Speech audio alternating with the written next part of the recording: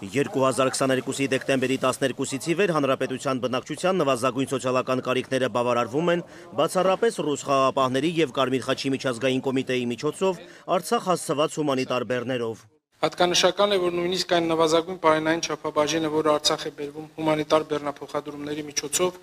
ունի կամ կայուն կամ հաստատուն ընթացք քանակի ու ժամկետների առումով գործընթացը կանխատեսելի չէ, ինչն իր հերթին ծնում է հավելյալ բարդություններ։ Եթե մինչև Արցախի շրջափակումը յուրաքանչյուր օր Հայաստանի Հանրապետությունից Արցախ էր բերվում 350-ից 400 տոննա բեռ, ապա այսօր այդ թիվը կրճատվել է բազմակի անգամ, ինչը բավարար է հասկանալու համար, որ այսօր մենք կարող ենք բավարարել մեր ներքին սպառման միջինը 10%-ը, ինչը չի կարող համարվել բավականաչափ։ Պետնախարարի խոսքով շրջափակման հետևանքով երկրում պարենի վառելիքի դեֆիցիտը մեծ է։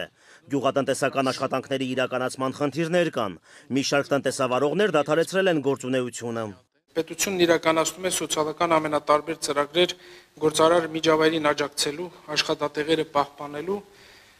սոցիալական ծանր կատության մեջ հայտնված ընտանիքներին աջակցելու ուղղությամբ։ Ակնհայտ է, որ բոլոր խնդիրները եւ դրանց լուծումները ուղղակիորեն փոխկապակցված են Հայաստանի Հանրապետության հետ անխափան ու անարգել կապի հետ, որը ներկայումս բացակայում է։ Արցախ հասցվող առաջին անհրաժեշտության ապրանքների համաչափ բաշխման համար գործում է կտրոնային համակարգ։ Գուրգեն Ներսիսյանի գնահատմամբ սակայն ոչ միշտ է հաջողվում բավարար ծավալի ապրանք տեղափոխել, քանի որ Ադրբեջանը parberabar խոչընդոտում է նաև հումանիտար բեռների փոխադրմանը։ Անցած շաբաթվա ընթացքում Ադրբեջանի հարուցած հավելյալ խոչընդոտների պատճառով մեծ դժվարություն էր ցակել նաև հումանիտար բեռնափոխադրումների հետ կապված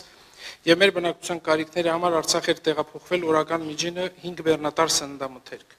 Ակնհայտ է, որ այն բավարար չէ Արցախի ողջ բնակության կարիքները հոգալու համար, բացի դրանից Արցախի բնակությունը դա միայն Ստեփանակերտ քաղաքի բնակությունը չէ։ Ստեփանակերտը ամենախիտ բնակեցվածն է, բայց մենք ունենք նաև շրջաններ, որտեղ ապրող անձինք նույնպես ունեն կարիքներ եւ մենք բոլորս պետք է ունակ լինենք համբերատար սпасել նաև մեր շրջանների բնակության կարիքները հոգալու։ Պետնախարար Գուրգեն Ներսիսյանը տեղյակ է, որ սննդամթերքի, վառելիքի եւ առաջին անհրաժեշտության այլ ապրանքների դեֆիցիտը հանրային դժգոհության առիթ է դառնում։ Հիշեցրել է կան հարցեր, որոնց լուծումը պայմանավորված չէ Արցախի իշխանությունների կամքով, բայց ներքին սուբյեկտիվ խնդիրների լուծման ուղղությամբ պետնախարարը շահագրգիռ մարմինների ղեկավարներին հանձնարարել է շարունակել պետական վերահսկողությունը։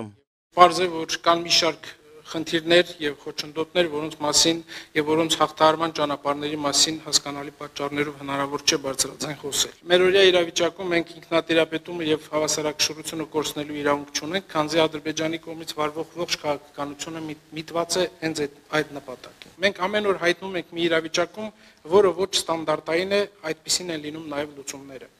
Արագ լուծման եղանակի առումով խորտ, չփորձված, բայց մի մտահոգվեք դրանից, խիզախորեն գնացեք առաջ։ Հումանիտար բեռների քանակն ավելացնելու ուղղությամբ Արցախի հանրապետության իշխանությունները շարունակում են ջանքերը։ Գուրգեն Ներսիսյանը լիահույս է, որ առաջիկա օրերին դրանք արդյունք կտան։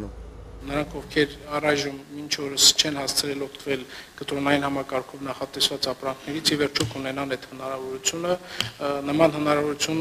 կապահովի նաև տրանսպորտային միջոցների վարողներին եւ վաղվանից մենք ելի հնարավորություն կունենանք արդեն որոշակի քանակի բենզին ու դիզվառելիք տրամադրելու։ Խորհրդակցության ընթացքում պետնախարարը լսել է առաջարկություններ, քննարկել ստեղծված իրավիճակով պայմանավորված մի շարք խնդիրների լուծման հնարավորությունը։